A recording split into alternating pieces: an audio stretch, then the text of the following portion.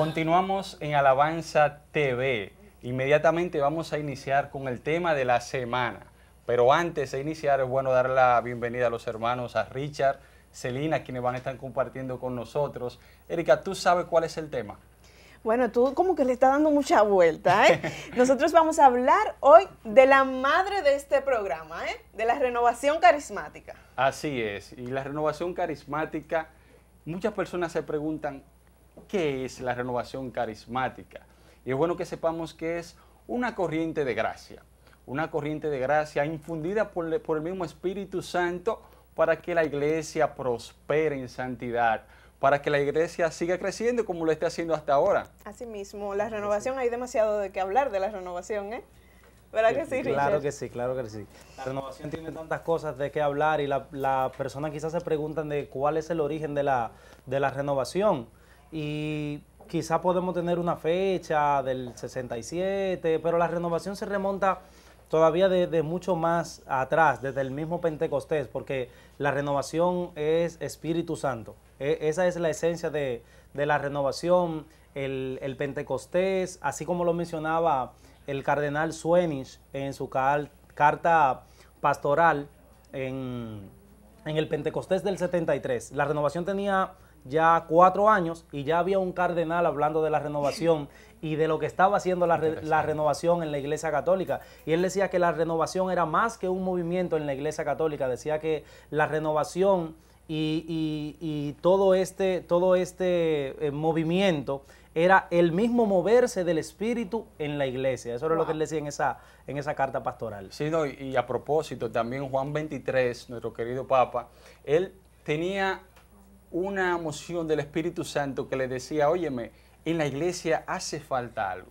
Y le pedía a los feligreses que, que, que, permitieran, que se abrieran al Espíritu Santo. Y mira lo que está ocurriendo a través de los tiempos. O sea, lo que está ocurriendo no solo aquí en República Dominicana, porque hay que admitirlo. En el mundo entero, la renovación, pues, el Espíritu Santo a través de la renovación, pues, está moviendo la Iglesia Católica. Y qué bueno que se está moviendo ahora, porque sobre todo esta iniciativa de este programa Alabanza TV viene a traerle a la gente el conocimiento, solamente con la palabra alabanza, llevar a la iglesia esa renovación de la que nosotros estamos hablando, de esa alabanza, como dice, alabanza, pequeña la palabra, pero grande se hace porque es donde nosotros alabamos y glorificamos a Dios. Y este es el proyecto de nosotros de Alabanza Así TV y el que nos vamos a glorificar y en el que nosotros Así vamos a enseñarle a cada uno de ese pueblo dominicano que está en sintonía de qué es la renovación carismática católica, cuál es el propósito de nosotros y cuál fue el propósito de aquel día en el 1967 cuando esos jóvenes sentían la necesidad de buscar más, de buscar ese Espíritu Santo, que es lo que está pasando ahora, que la, el la pueblo dominicano necesita, está céfalo de la palabra de Dios.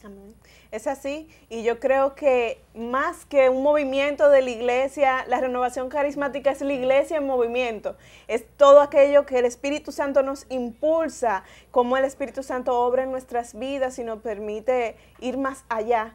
Eh, Benigno Juanes, nuestro querido líder, decía que la renovación es el proceso experimental y el redescubrimiento del Espíritu Santo. Y así es que vivimos los carismáticos. Nosotros que estamos aquí, ustedes que están allá, dejándonos guiar del Espíritu Santo para que Él obre en nuestras vidas. Así es, Erika. Y tú sabes que ahora que tú mencionas a Benigno Juanes, pues tuve la oportunidad de investigar un poco de la vida de otro gran santo ya, Padre Emiliano Tardif. Bueno, todavía no es santo, ¿eh?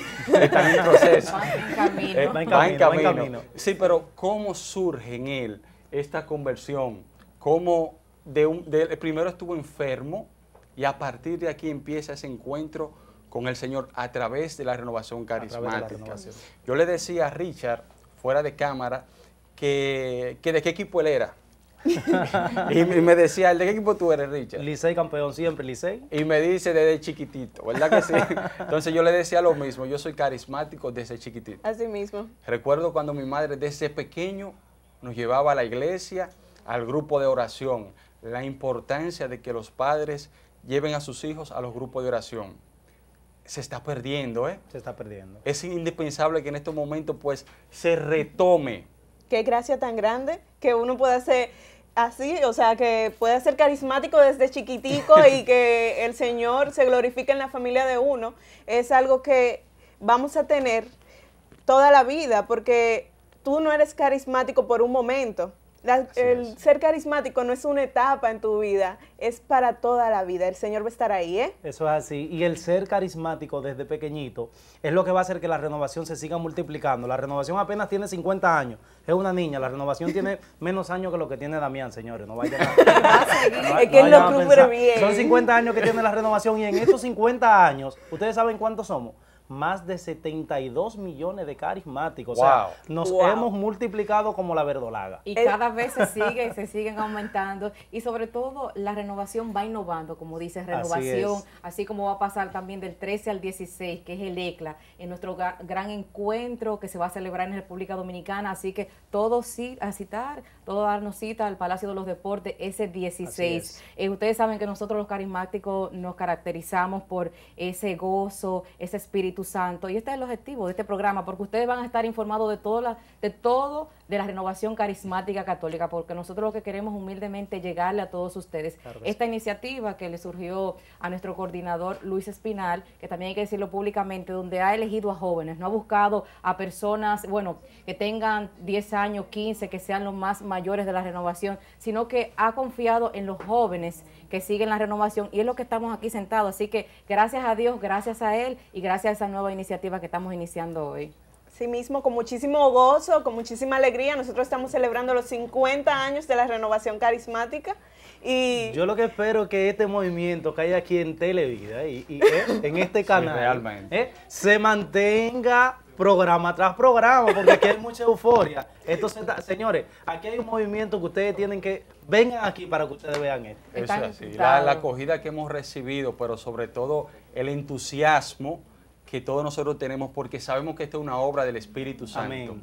Amén. Es una obra del Espíritu Santo para bendecirnos a nosotros, pero sobre todo a todos los hermanos que nos están viendo, porque ese es el propósito, que usted sea bendecido a través de los artistas que vamos a traer, a través de los invitados que se le va a hacer entrevista, a través de las cápsulas informativas, en fin, bendiciones es lo que nosotros deseamos para todos nuestros hermanos que están en sus casas sintonizando Alabanza TV. Ustedes saben que aparte de Damián, hoy tenemos un programa especial porque ustedes conocerán como renovación muchas veces, no solamente los grupos de oración en las iglesias, se va a anunciar la agenda, también tendremos una agenda amplia, o sea que la renovación aquí va, va a estar orientando a su pueblo, a su gente. Me orejearon que hay una rifa por ahí. Ah, una rifa Sí. también. Una no, rifa muy ¿eh? esperada. Sí, porque ¿eh? espérate, Muy que esperada. nada más no es oración y alabanza. ¿Eh? Aquí también se dan premios, ¿eh? Ahora, yo te aseguro que el que se saque ese boleto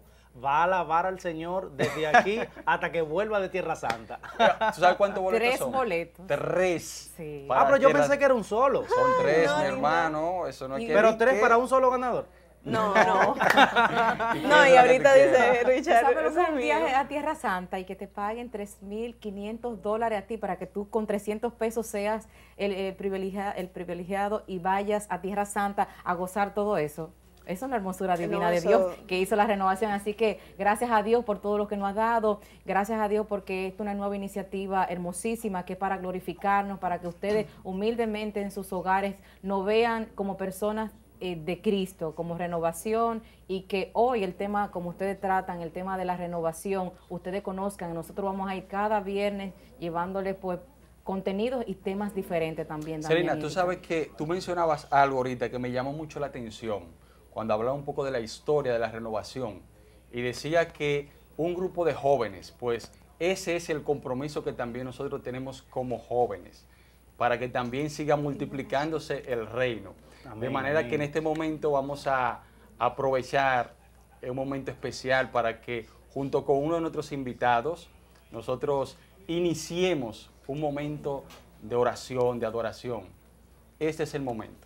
Asimismo, vamos a ir con nuestro hermano Enrique Félix, que tiene una maravillosa canción para nosotros, y vamos a sentir de nuevo la presencia del Señor. ¿eh?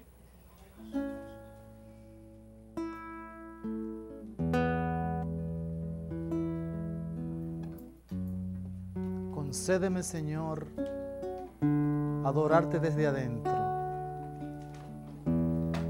bajo el fuego de tu espíritu y a la luz de tu verdad.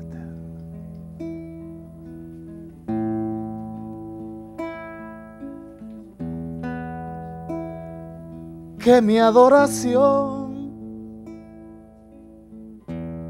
sea más que mis palabras, que brote como un río desde el centro de mi corazón. Que mi adoración.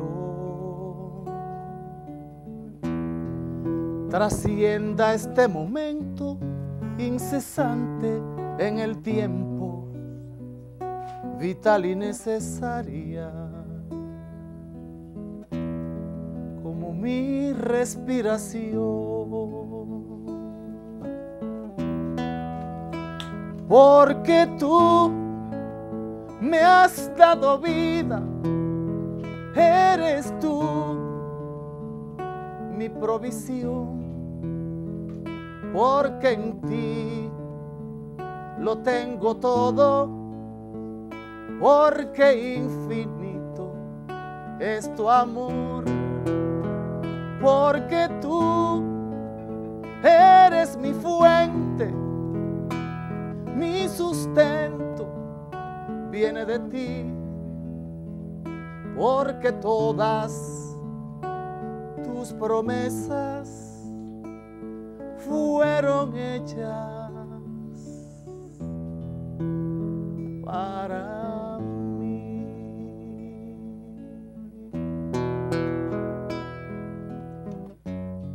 Recibe, Señor, mi adoración, como el mar acoge al río en un abrazo total, donde el río desaparece, haciéndose agua del mar.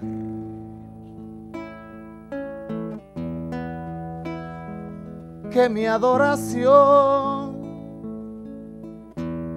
resulte de tu agrado, bendito Padre amado, mi generoso dueño, causante de mi paz.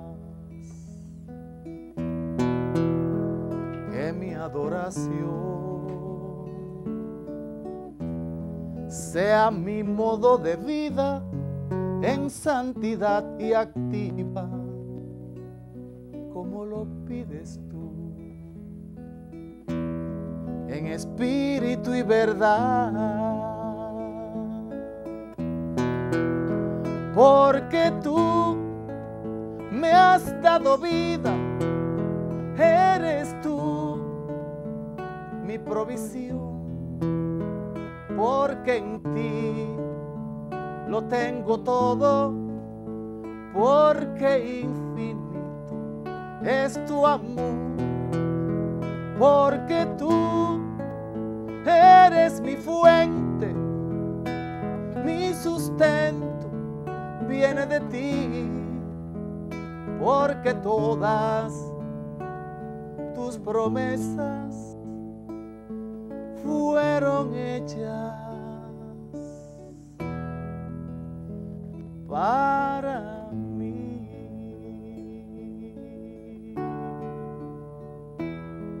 Para mí.